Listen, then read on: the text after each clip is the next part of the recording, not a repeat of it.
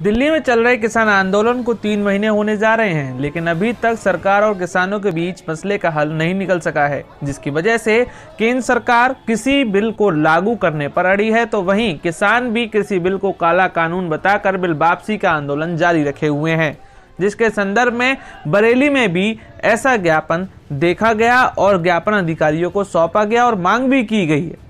कि कहीं ना कहीं हम भी किसानों के साथ हैं। इस ज्ञापन के माध्यम से सांकेतिक तौर पर उन्होंने भी राष्ट्रपति को संबोधित एक ज्ञापन सौंपा, जिसमें उन्होंने मांग की कि इसके साथ ही अगर किसान बिल पर सरकार बैकफुट पर नहीं आती है तो इससे बड़े भी आंदोलन यूपी के बरेली में भी देखे जा सकते हैं।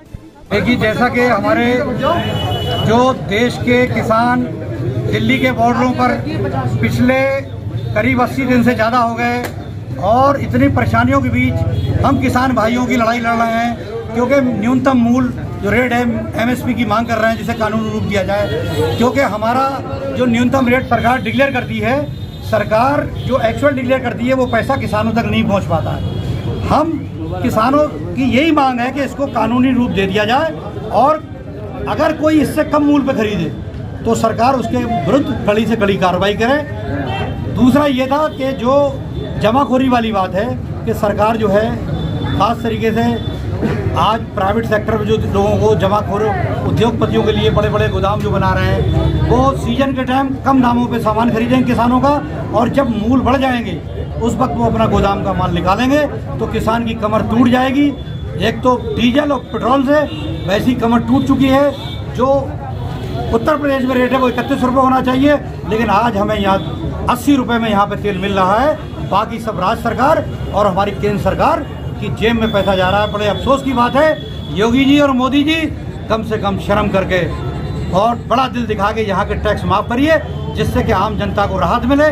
किसान अपनी जुताई, बुवाई हर चीज़ों में इस्तेमाल ट्रैक्टर का करता है और ट्रैक्टर डीजल बगैर नहीं चलता।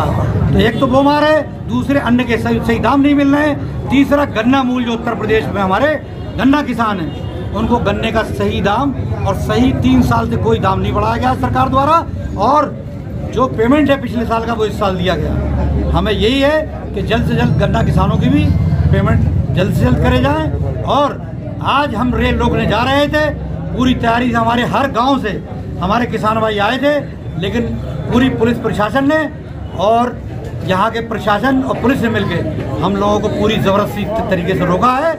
लेकिन हम लोग रुकने वाले नहीं हैं। ये आंदोलन जब तक तीन काले कानून खत्म नहीं हो जाते, हम लोग अपना अनशन, आगे भविष्य में आंदोलन शांतिपूर्वक जारी रखेंगे।